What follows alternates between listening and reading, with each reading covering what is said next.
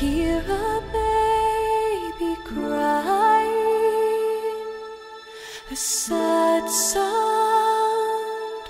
a lonely sound.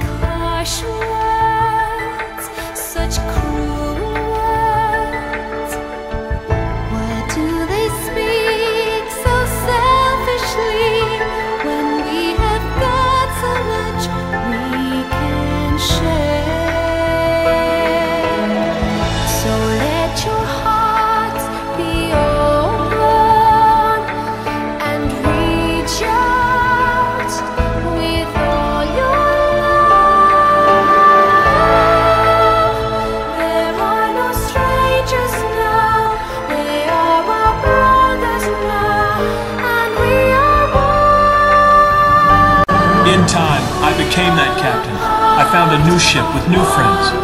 My ship was the Youth League. Others chose a different captain. Their boat was New Yevon. Just reach out to You know, I realize I'm like a lot of you people. We want a captain, and we want a ship to ride, but more important than that, There are some things you can't do alone. But they become easy with friends beside you. This was the lesson that we learned when we launched those ships.